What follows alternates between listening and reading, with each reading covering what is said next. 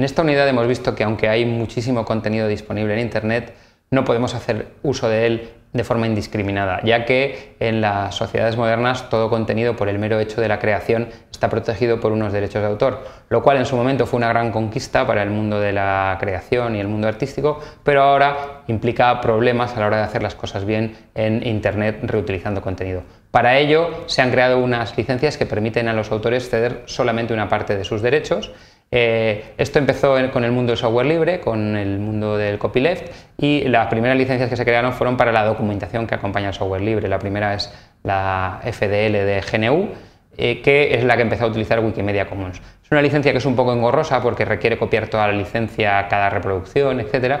Entonces, eh, ahora Wikimedia Commons está pasando a la licencia de Creative Commons. Creative Commons es una sociedad sin ánimo de lucro que se ha creado precisamente para ceder de forma muy exacta y de forma que sea cómoda para todos eh, una licencia a la hora de poner material en Internet.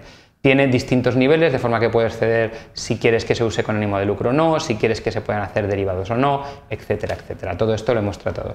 Y por último, lo que hemos hecho ha sido un repaso de las distintas herramientas que tenemos para encontrar contenido que otra gente ha compartido con estas licencias. Por ejemplo, hemos visto cómo encontrar imágenes, cómo encontrar sonidos y música, cómo encontrar vídeos o cómo encontrar documentos. Y para terminar eh, la unidad lo que hemos hecho ha sido estudiar la forma de capturar pantallas o conseguir contenidos de páginas web y eh, digamos imágenes que hay en la página web y luego utilizar un software libre para poder con eso realizar un montaje con el cual luego poder meter lo que hayamos sacado, las imágenes que hayamos sacado en nuestros documentos.